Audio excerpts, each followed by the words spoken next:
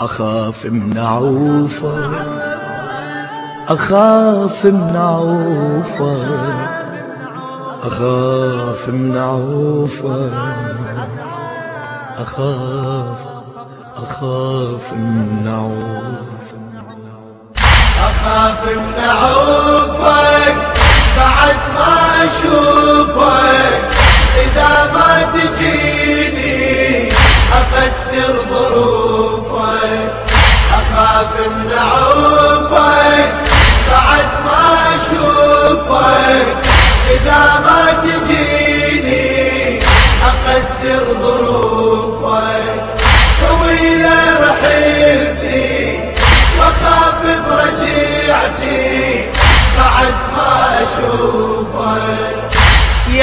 عباس أختك أنا ولا تباريحني كنيت أنت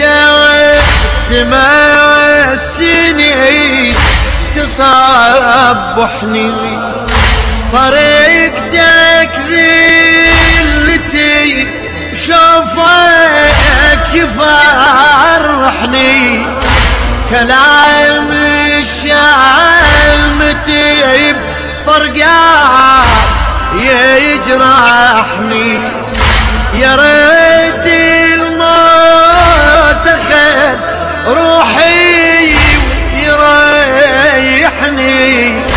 إذا أنساك الله لا يسامحني.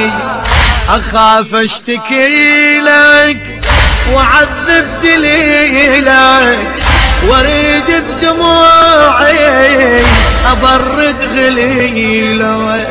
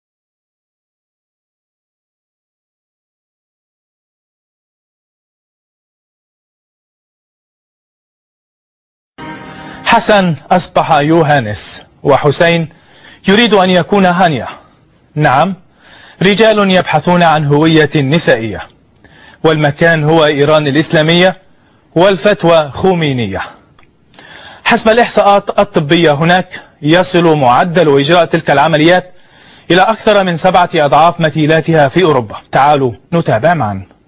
ومن ناحية أخرى فإن إيران هي إحدى البلدان القليلة التي لا تبيح عمليات تحويل الجنس فقط بل تساهم أيضا في دفع تكاليف تلك العمليات لم لا؟ والملهم الأول لتلك الفتاوى كان قائد الثورة الإمام الخميني قبل أربعة عقود وقبل أن يتولى الحكم في إيران تبنى الخميني ذلك الموقف وأصبح كما يقول البعض أول عالم مسلم يتطرق إلى موضوع تبديل الجنس بهذه الطريقة. من وجهة نظر الخميني أنه إذا أراد أحدهم تغيير جنسه الحالي لأنه يشعر أنه عالق داخل جسد غير جسده يحق له التخلص من هذا الجسد والتحول إلى جنس آخر بالإضافة إلى الحصول أيضا على أوراق ثبوتية جديدة وذلك لوضع حد لمأساتهم. وحسب الخميني أيضا فإن مسألة تحويل الجنس لا تتعارض مع الشريعة الإسلامية. ولذلك لا يوجد سبب مقنع لعدم إجراء تلك العمليات هذا رأي الإمام الخميني رحمة الله عليه. وفي الدولة الإسلامية لأن قوانين الدولة مستمدة من آه، فقه الإمام الخميني رحمة الله عليه وبعده من فقه الإمام الخميني حفظه الله تعالى آه، هذا الأمر سيكون آه، لا مانع منه قانونيا ولكن ضمن الشروط الشرعية وضمن مقررات تأخذها الدولة بعين الاعتبار. از آمده بودن. ما أثار تعجبي هو تنازل الدين لهذه المشاكل ومعالجتها بشكل عقلاني ومنطقي لأعترف أنني كنت أجهل الدين الإسلامي حيث يسمح الإسلام للإنسان أن يكون ما يشاء وما يمليه عليه عقله ويعيش كما يحلو له من دون قيود.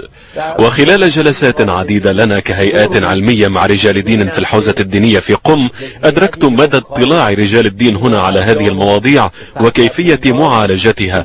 ولا ننسى أن الفتوى صدرت قبل 47 عاما بهذا الشأن من قبل الإمام الخميني قبل الثورة في إيران.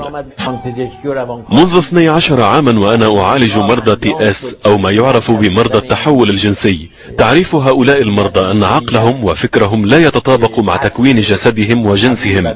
للأسف أنه في إيران وحتى قبل أربع أو خمس سنوات لم يكن هناك اهتمام بأوضاع هؤلاء المرضى لعدم معرفة واطلاع المجتمع على هكذا نوع من الأمراض وحتى على مستوى أطباء علم النفس والتعامل الاجتماعي.